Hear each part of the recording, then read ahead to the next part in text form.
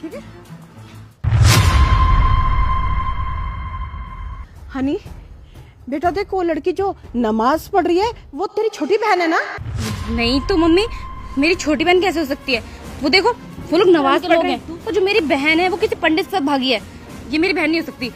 चलो ना चलते हैं यहाँ से। आओ। रुक देख मैंने कहा था ना ये प्रीत है। हाँ? उसने जो कुर्ती पहनी हुई है वो मैंने खुद अपने हाथों से सिली थी। मम्मी मैं बोल रही हूँ ना वो प्रीत नहीं है। ये तुम मुझसे विश्वास क्यों बहस कर रही हो मुझसे? चलो ना यहाँ से। चल आ चल के देख अरे मम्मी आ तो सही मेरे संगा प्रेत! ये मुसलमान लड़का कहाँ से आया? तू तो पंडित के लड़के के साथ भागी थी ना? तू दो दो लड़कों के साथ चक्कर चला रही है। मुझे तेरे से चलो चलते हैं। हाँ। नहीं माँ आप गलत समझ रही हैं। मेरा निकाह इन्हीं से हुआ है और यही मेरे शोहर है। मैं कोई पंडित के लड़के के साथ नहीं भागी। और बात रही माँ उस दिन की। उस दिन तो मैं घर आई थी लेकिन आपने ही तो मुझे घर से बाहर निकाला था। तो फिर आप अभी इतना गुस्सा क्यों हो रही हैं? क्या? मना किया था? तू ही तो घर छोड़ के भागी थी ना? हाँ माँ अगर आपको यकीन नहीं होता तो आप दीदी से पूछ लो। इन्होंने ही तो मुझे बोला था। हनी ये सच बोल रही है? ये घर पे आई थी? हाँ माँ सच बोल रही है। ये घर पर आई तो थी। माँ मुझे आपसे कुछ बात करनी है। माँ मुझे ना इस लड़के से प्यार है। बेटा लड़का तो ठीक है। क्या है? पर माँ ये पंडित है। बेटा तुझे पता है ना हम इंटरकास्ट मैरिज नहीं कर सकते और तेरी शादी वही होगी जहाँ मैं चाहूँगी। और वैसे भी मैंने तेरी शादी फिक्स कर दी है। माँ ये क्या बात हुई? अगर आपने मेरी से शादी नहीं कराई ना तो तो मैं भाग जाऊँगी। भाग जाएगी। माँ। माँ। क्या हुआ?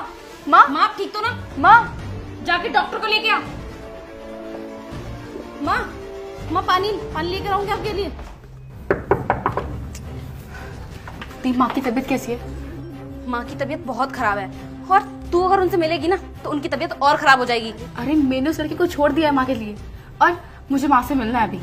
देख माँ ना तेरी शक्ल भी देखना पसंद नहीं करेंगी इस टाइम पर। समझी ना? निकल यहाँ से। और अगर तू चाहती है ना कि हमारी माँ ज़िंदा रहे तो दोबारा इस घर में मत आना। समझी? जाओ। कौन था बेटा? माँ वो प्रीत आई थी। ये बताने के लिए कि उसने दूसरी और वो हमसे रिश्ता खत्म करना चाहती है हमारे साथ नहीं रहना चाहती। क्या ऐसा कहा उसने? मुझे ये उम्मीद नहीं थी उससे खैर छोड़ो। बेटा तू तो नहीं जाएगी ना मुझे छोड़ के। माँ आप कैसी बातें कर रही हो? मेरे लिए तो सब कुछ आप ही हो। मैं आपको छोड़ के कहाँ जाऊँगी?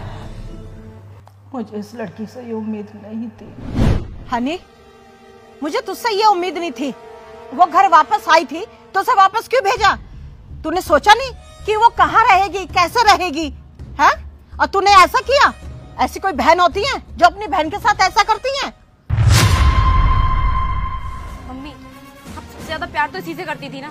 ये तो आपकी लाडली थी। और मैं नहीं चाहती थी कि सारी प्रॉपर्टी आप इसके नाम कर दो। बस इसीलिए मैं ना एक पंडित के लड़के के साथ भाग गई। बेटा तुझे प्रॉपर्टी ही चाहिए थी तो मुझसे बोलती ना।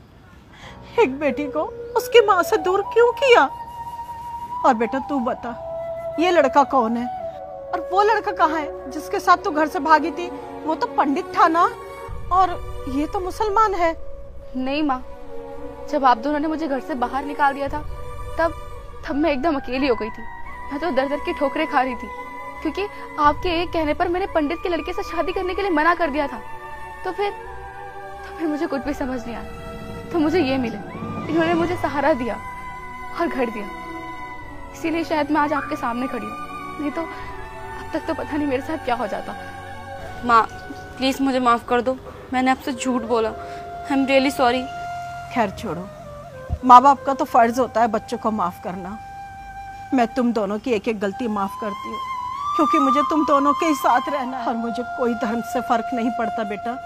मैं तुम्हारा भी धन्यवाद करती हूँ कि तुमने मेरी बेटी को संभाला उसको सहारा दिया। नहीं तो पता नहीं मेरी बेटी कहाँ जाती। बहन भी मुझे माफ़ कर दे। मैंने तेरे साथ बहुत गलत किया। आई एम रियली सॉरी कोई बात नहीं। अब हम सारे साथ में चलते हैं।